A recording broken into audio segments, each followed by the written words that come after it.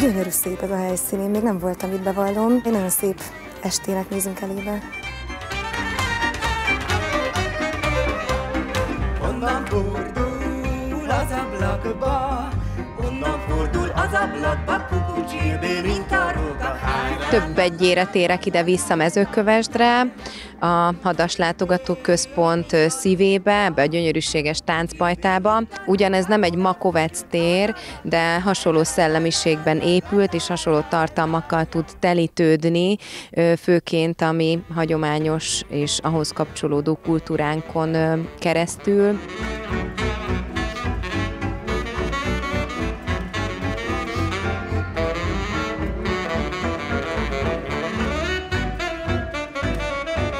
A legfrissebb gyerekeknek, illetve családoknak szóló mesés produkciómat úgy szoktam emlegetni, hogy rókatánc mesés komédia, mert hogy ez most az előző két lemez anyagától, illetve előadásától egy picit eltérít, tényleg a humor, a, a játékosság nagyon erősen előtérbe helyeződik, és az, hogy, hogy mennyi élethelyzetben tud egy, akár csak egy mosoly is átsegíteni bennünket a nehézségeken.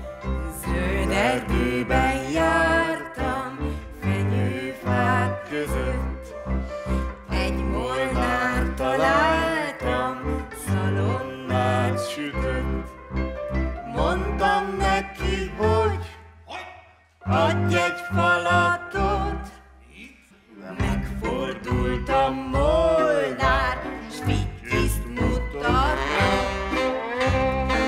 népzene az egy nagyon inkluzív közeg volt mindig is, amióta a a, az ember ö, ö, ajkára vesz egy dalt, vagy előbújik belőle egy dallam, vagy a közösségbe bevisz egy, egy bármilyen közös ö, kollektív zenei tevékenységet, onnantól fogva elkezd asszimilálni új ö, impulzusokat, és, és abból építi fel a közösség a saját zenei anyanyelvét.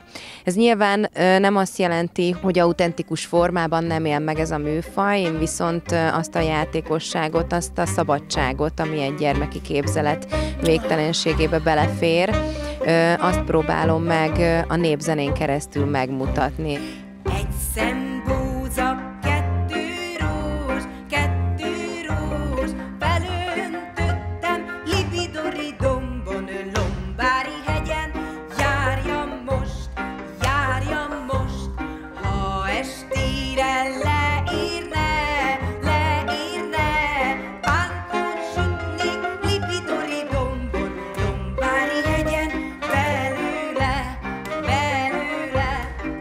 azt tapasztalom, hogy ez a, ez a fajta szabadság nem csak minket, muzsikusokat, alkotókat szabadít fel, hanem az embereket, a, a felnőtteket főként, akik újra gyerekek mernek lenni. A gyerekek azok, azok működnek, ők, ők, még, ők még abszolút benne vannak a természetes alaphangoltságban, a felnőtteket egy picit nehezebb visszanyitogatni erre a gyermekére, de én annyira hiszek benne, és azt látom, hogy ez így működik.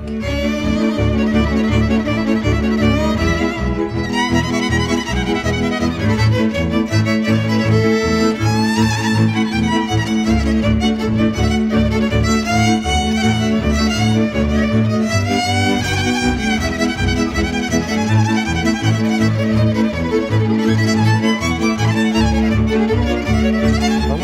a táncházban jó a hangulat, sok, hát sokan vannak amúgy, és megy a buli.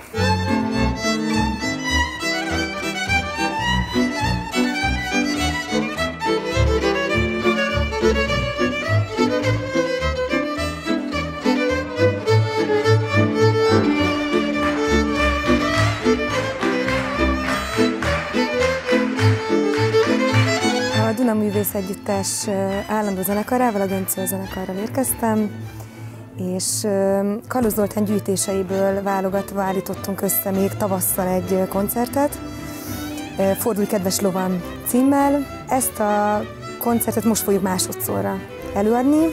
Tavasszal volt a, bemutatója, most folyamatban vannak a stúdió felvételei ennek a zenei anyagnak, és most második alkalommal hoztuk el egy újabb helyszínre, úgyhogy nagyon várjuk.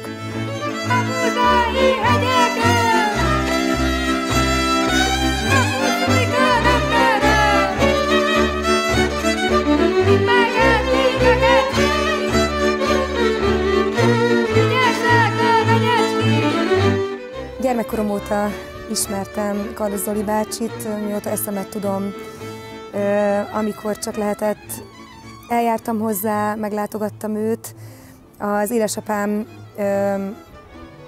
válaszút szomszéd falujából, Boncidáról származik, és ugye Kalóz Zoltán válaszúton tevékenykedett, ott élt, úgyhogy én már gyermekkoromtól kezdve oda hazajártam, annak ellenére, hogy Magyarországon nőttem fel, és gyermekkoromtól kezdve itt élek, de nagyon szoros kapcsolatom van az erdélyi gyökereimmel, rokonságommal, és hát ebbe Zoli bácsi is beletartozott, úgyhogy nagyon sokat tanultam tőle.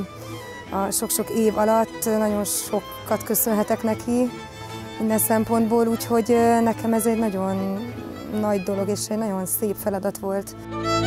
Végre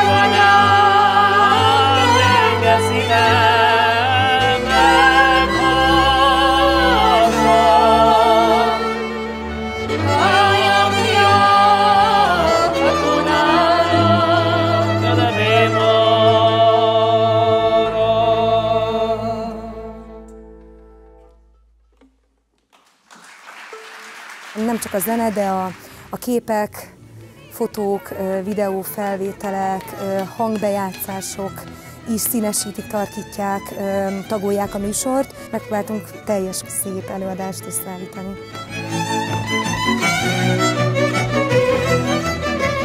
Mindig nagy élmény a, a Hét Torony Fesztivál, és mindig nagy élmény ide Matyóföldre eljönni.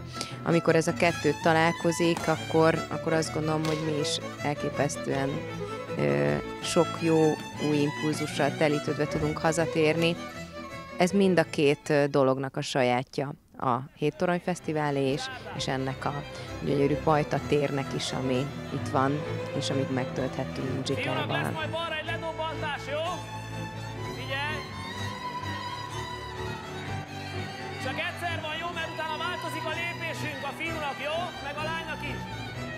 samo